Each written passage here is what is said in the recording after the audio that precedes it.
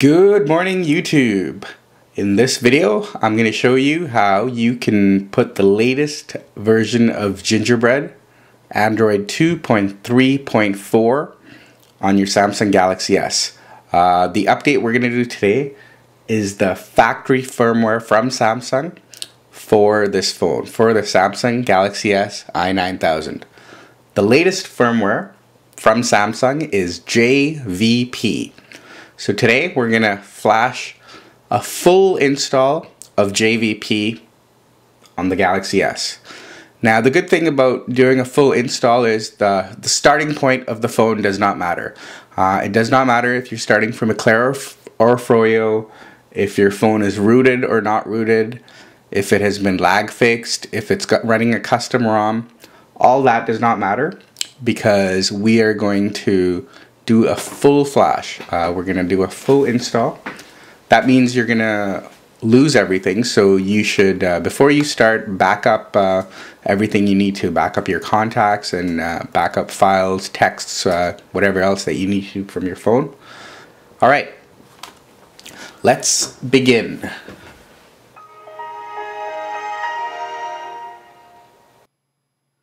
Okay, we are now going to download um, the file xxjvp.rar. Um, the link will be provided below.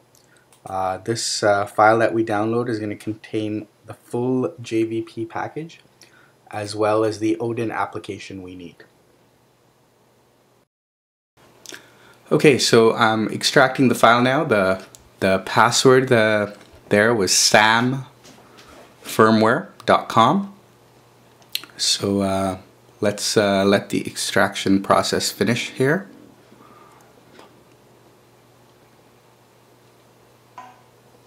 We have all our files extracted. So we have three files here I'm going to draw your attention to. There's a code file which is uh, about uh, 280 uh, 3000 kilobytes. There's a CSC file which is uh, 87,000 kilobytes almost. And there's a modem file, uh, which is quite a bit smaller, about 12,000 plus kilobytes.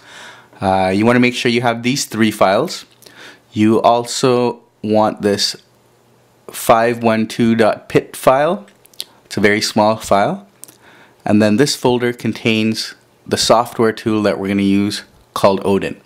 So once you have all this, you have everything you need uh, to start the update. Uh, now some prerequisites is you'll need to make sure that your phone can connect to your computer, that, that the drivers are installed, um, so that Odin can recognize your phone. Okay, so let's open Odin. There's Odin uh, version 1.85, so I'm clicking on the .exe,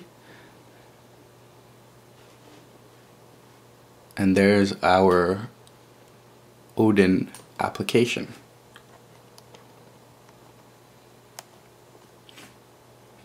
In Odin, we're going to select four different files from the folder that we uh, create extracted everything to.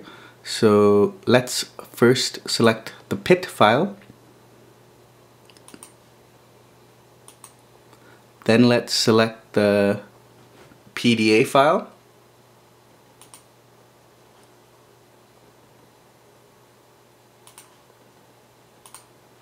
Then let's select the phone file, which is the modem file. It starts with modem.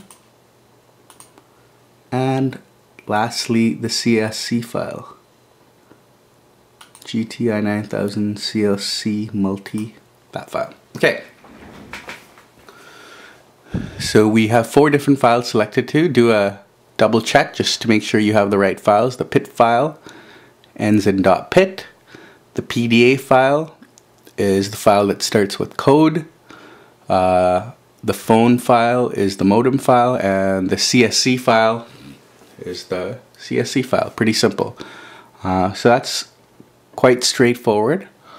Also, at this point, we're going to check off auto reboot and repartition and F reset time. So only repartition I had to check. The other ones were already checked. I'm also at this point going to check off the phone bootloader update. Okay, now that we have picked our files, uh, next thing we want to do is get our phone into download mode. So that's another prerequisite. If you haven't, uh, if your phone doesn't have the three button method to get into download mode working, you want to make sure you get that corrected. Okay, so to get into download mode, the volume down, home and power. And there, we are in download mode. So let's plug in our phone.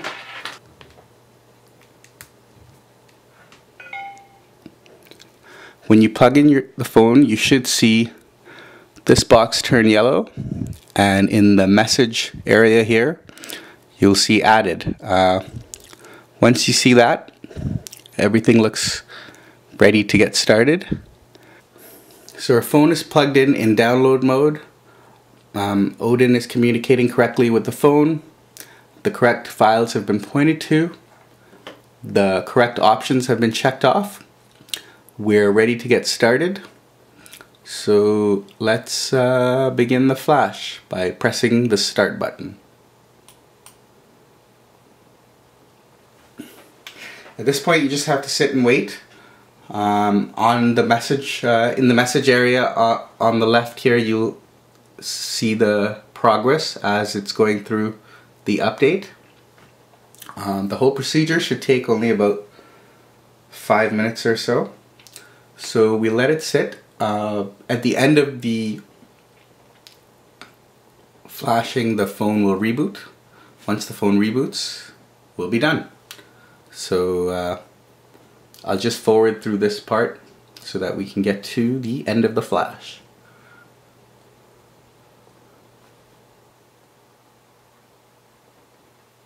Okay. Uh, the flashing is finished we see the big green pass here so that looks like everything went well and uh, our phone should start the reboot here in the next few seconds.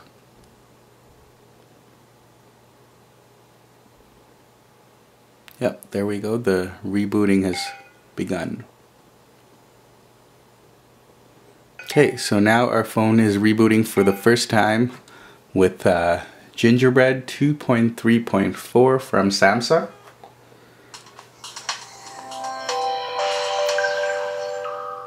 At this point we can we are finished with Odin. We can uh, disconnect the phone from the PC as well.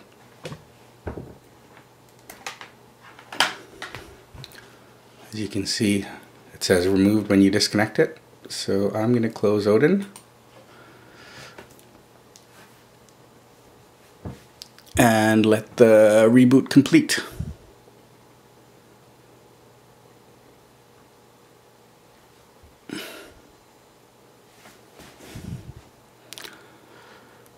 Okay, so our phone has rebooted fully and uh, now we'll have to set up everything again, log into um, your Gmail, uh, set up your wireless and so on.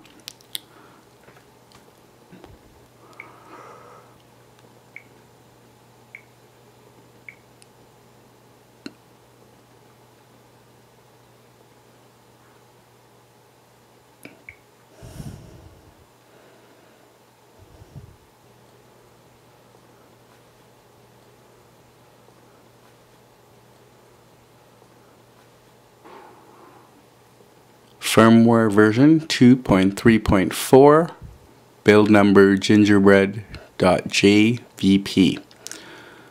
So uh, that's it. That's all you need to do to get the latest version of Gingerbread on your Galaxy S. Uh, let me know how it goes in the comments.